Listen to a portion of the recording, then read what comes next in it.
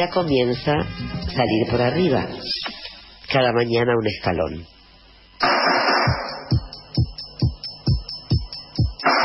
En tres minutos. ¿Y de qué va la cosa?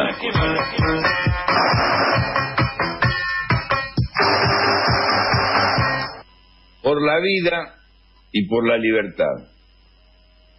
Los medios y la gente viven como si la pandemia hubiera terminado, pero ayer murieron 621 argentinos. Y siempre hay un amigo, un compañero, una compañera que cae en esta guerra que muchos se empeñan en negar.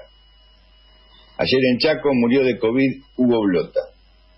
El diario digital Chaco Día por Día nos recuerda que Blota era artista, director, productor teatral y dramaturgo que falleció a los 64 años, tras varios días de internación en el Hospital Modular de Resistencia, como consecuencia de las complicaciones de salud generadas por el coronavirus.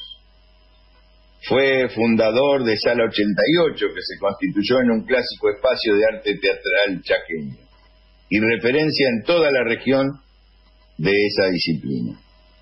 La Sala 88 hace poco más de un año se incendió, llevándose uno de los sueños de Hugo Blota, acompañado siempre por su esposa e hijas.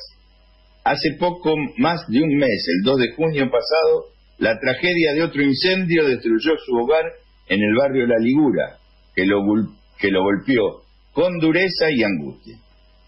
El teatro chaqueño y el de todo el país están de luto. Hemos perdido a uno de los mejores hacedores. La vida digna es una causa. La libertad es una causa.